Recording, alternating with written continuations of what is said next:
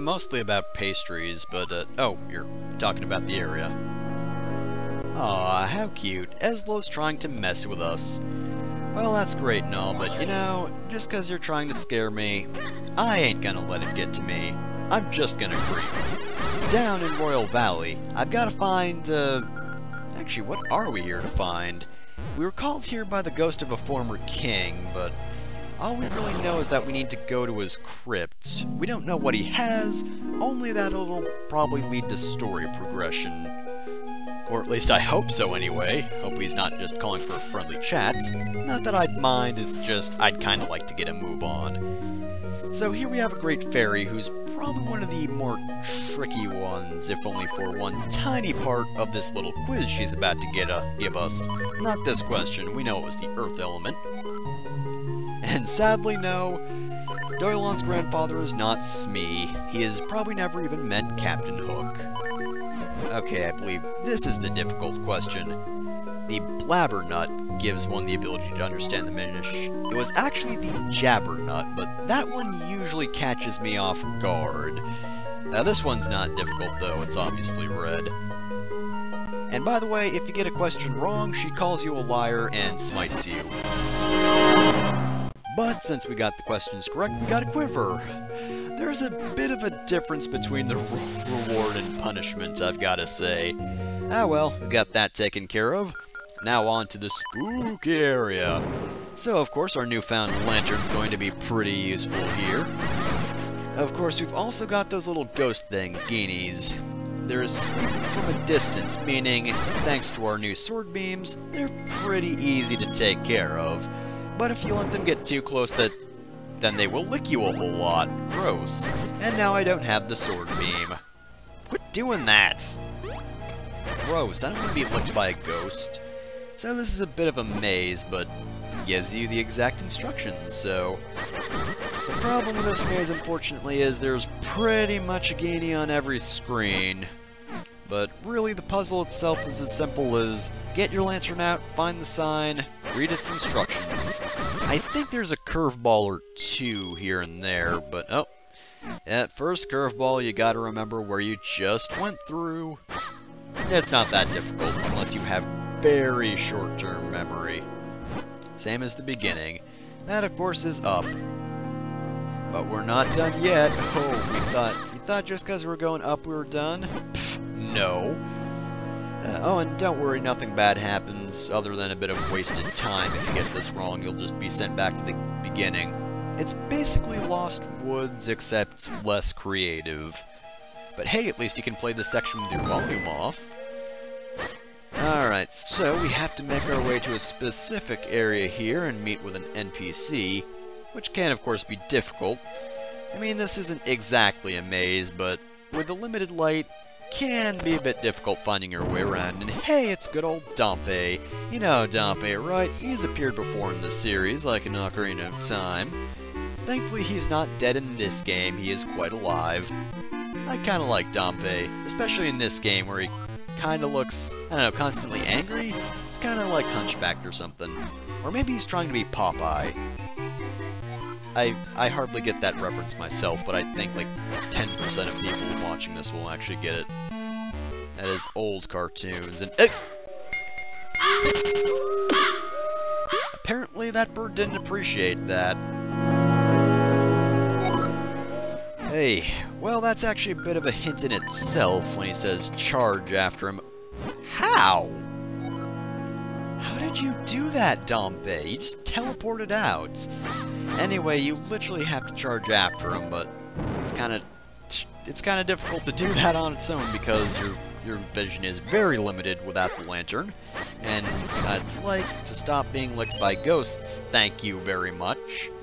Alright, Bird's got the key. Easy enough, ram the tree. Find the key if you can. Might need to get the lamp back out. Excuse me, maybe you want to hold it this time, Ezlo. Ah, whatever. As he says, we can get into the graveyard.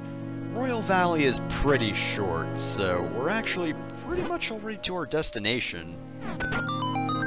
And we're here, but there's a little bit to explore, I think. Yeah, I noticed. Yeah, how does your brother live in town when there's constant sunlight there? Oh well, I'm not gonna question it too much if you have a kinstone I can fuse. Wow, I can actually fuse a kinstone, imagine that. Oddly enough, though, this doesn't have to do with her brother, but Carlov. Or wait, no, Carlov is the guy with the figurines, isn't he? Oh shoot, what is that guy's name? Because I'm pretty sure Carlov's the one with the figurines, so... Oh man, I forget what Carlov's brother's name is, only that I like him a whole lot. Well, I'll try to remember while we explore here, you know, push around some graves, desecrate, uh, basically everything here. But hey, we found something. That looks pretty important since there are three panels. We just got the ability to split into three, so maybe that'll be necessary for moving onwards. Huh? You ever think of that? Seriously though, it's bothering me that I can't remember. Uh, sounds similar to Carlov... Barlov? Borlov, that's it. It's Borlov. Though I don't remember that really being mentioned in the game other than just the uh, figurine for him, so I don't feel too bad for forgetting his name. I mean, if it's that obscure... And, yep, here we go, hidden passage. There had to be one somewhere, but sadly this... Actually, is this a three-person block? Let's check. Actually, yeah, this is definitely a three-person block. So never mind me. I don't know how that worked, but whatever. New heart piece, new heart container. Fine by me. Alright, so since I believe we've checked everywhere in this graveyard, now we actually have to move on. I wouldn't even call this part a puzzle just because it's so easy, but let's split up and, oh yeah, by the way, moving that grave is necessary, otherwise you can't actually fit into place here. But, easy enough. With that, the most important grave here opens up, and that, of course, is the tomb of the former king, the Royal Crypt.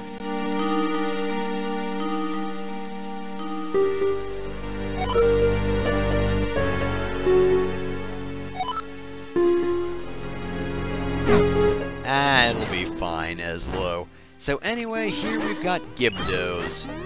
So Gibdos vary from game to game, but in this game, while they can be threatening, just burn them with your lantern and they'll just turn into uh, normal Stalfos. And Stalfos are very easy to take care of, so yep, that they're not too bad. Just remember to always fight them with your lantern, otherwise they take quite a bit of uh, damage and... Uh, ooh, fake doors. This is where these things get introduced. But yeah, they take quite a bit of damage and can actually do a lot of damage. I think they hug you is the thing.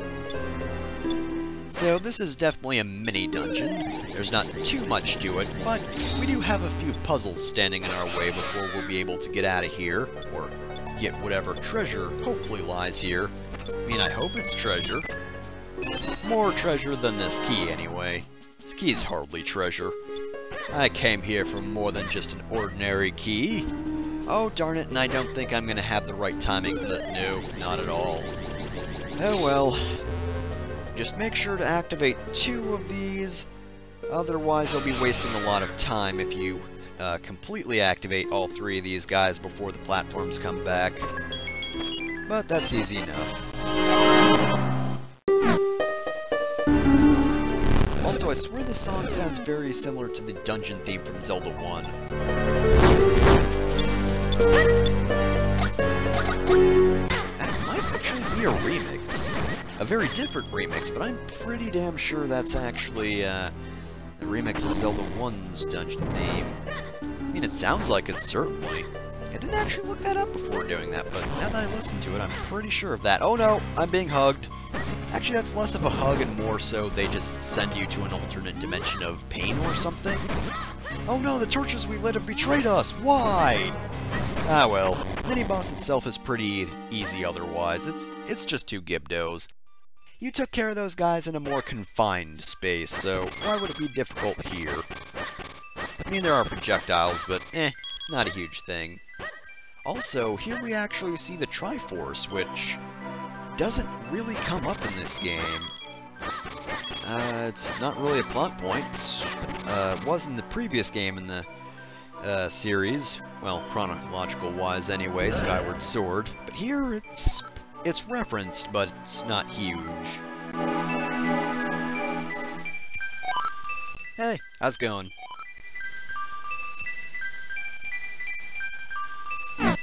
Oh, you've, you've got a kinstone. Don't worry, Self, it's a gold kinstone. It's not going to annoy you. It's going to be quite easy, in fact. Quite, quite easy to fuse that, indeed. Well, if the entirety of Hyrule is counting on me, well... Guess I gotta find this source of the falls. Or flow, or whatever he said. Flow, that's it. I kind of gave it away. Oh no. Not the most interesting puzzle in the game. So I swear there's a few more graves you can open here. Because there's one... Whoops. Because there's one more ghost NPC we've yet to meet. Actually, it should be this grave, right? No? See, I'm pretty sure it should be around here somewhere. There's someone we haven't met for sure. No? Seriously? Well, at least you have a second Kinstone fusion, and hey, what do you know, it's actually an important one. Thank goodness it's not just yet another green Kinstone piece. And this Kinstone fusion, on the other hand, does have to do with her brother.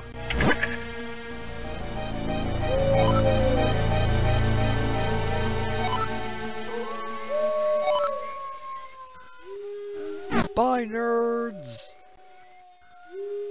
So that opens up a little passageway into that house, which you can get into as Minish Link. I don't really think there's anything all that useful there, though. Like, off the top of my head, I can't think of any specific reward you get, like maybe access to a Kinstone Fusion, at best? Ah well, let's see what Dampé has in store for us. Gotta be something good, right? Because Dampé's cool. I like Dampé. Oh, that's right. You have to fuse a Kinstone to do this. Forgot about that. So that opens that. No. Poor Dampé. He doesn't seem too depressed, but didn't really seem all that happy to fuse Kinstones, when supposedly it's a thing that's supposed to make you happy, but he's just like, oh, good. Alright, well, I'm still gonna be a gravedigger, so whatever, not like it's gonna be a huge change to my life.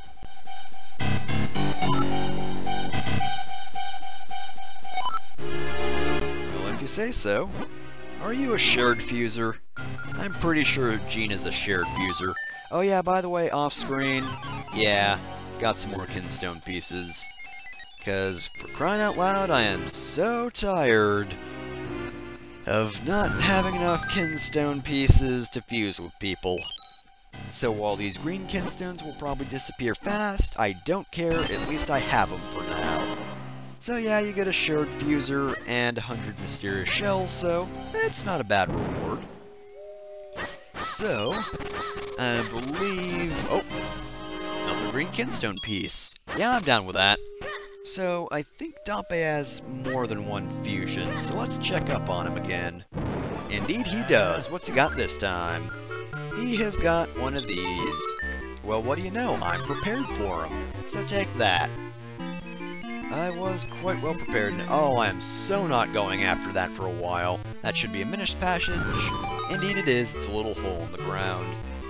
Yeah, I'm not going all the way back at Wind Ruins just to grab that. Anyway, I think that's all Dampé has for the time being.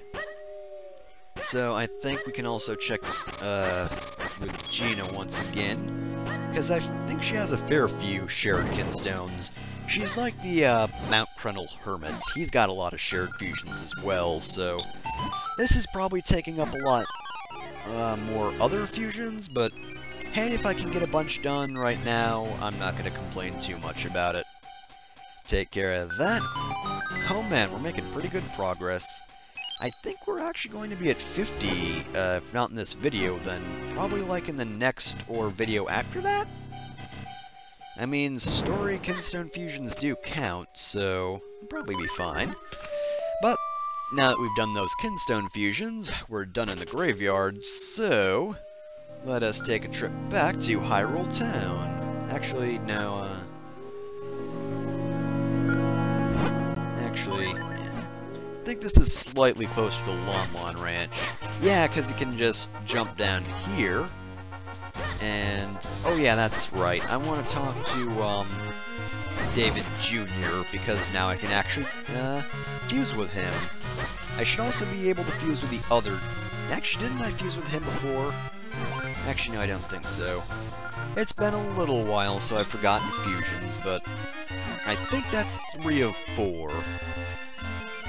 And, yep, because the fourth would be the top right, and we haven't done that yet.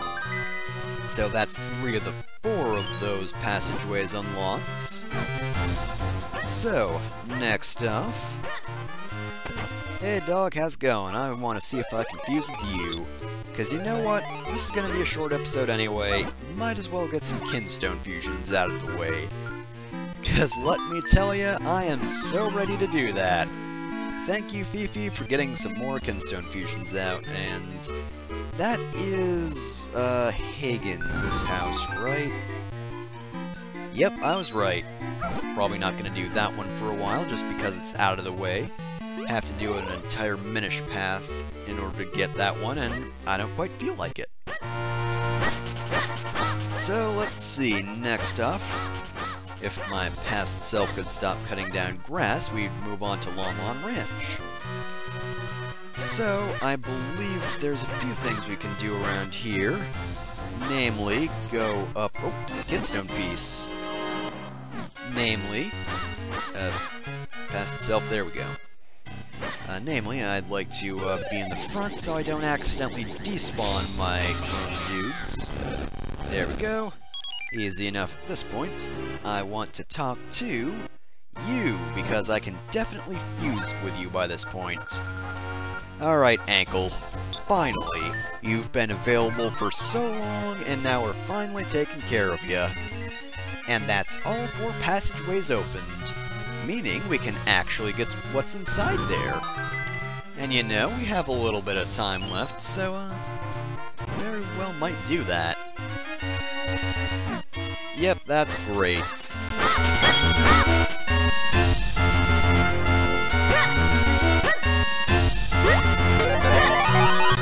think we'll just walk it from here.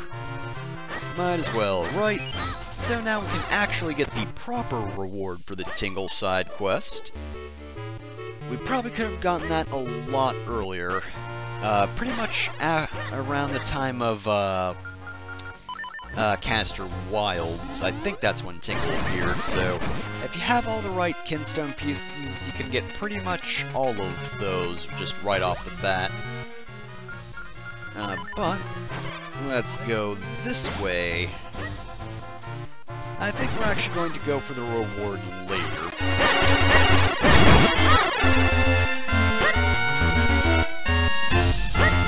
Alright, so we got a chest over here. 200 rupees. I mean, I guess we're fairly low at this point, so it's kind of worth it. But yeah, we got that reward, and if these Peahats would stop chasing us, and I'm not falling for that like-like, or groupie-like, whatever you want to be called, I don't care, I'm killing you either way, and go away, Peahats. Ugh, bomb-dropping Peahats are the worst, because they pursue you pretty relentlessly, I gotta say. And I knew one of you would be a trap. Granted, that one was a bit more deceptive, but I'm prepared for you by this point, and goddamn go away already. Ugh, these Peahats are the worst, and I hate them so very much. Eh, well, at least we're in a cave, so they can't bother us for now. So dig our way through. I don't think there is a Goron thing here, no. No mysterious walls in this cave, anyway. And oh boy, only 50 mysterious shells and 50 rupees. Those are so useful in that quantity at this point. Oh boy. Right, so, we got that taken care of. Excuse me, I was climbing a ladder. Oy, the nerve of some people. So, anyway, with that done, now we can go this way. And uh, we're at North Hyrule Field, so, uh, so since we're in the area, before we take care of that Source of the Falls thing, actually, have we not been up here yet? Doesn't look like we have, so, um, I suppose I might as well actually, we might have been there before, and... So since I might have been there before, let's go take care of this stuff first. So, as per usual, this reward probably isn't going to be anything too special. Ooh, actually, that's pretty good. 200 mysterious shells is something I'm not going to turn down. That'll buy a fair few figurines, I gotta say. And in here we got the final switch and reward final reward is another You know my feelings on that by this point. But with all four switches pressed, we've made a ladder appear. Just sort of fell out of nowhere. So this is why this isn't available until you do that body fight in front of the castle, or the enemy fight in front of the castle. Uh, this is the magic boomerang we heard about earlier. So yeah, it's like the normal boomerang, but you can actually control this one. Let me demonstrate right here. Whoa, check that out!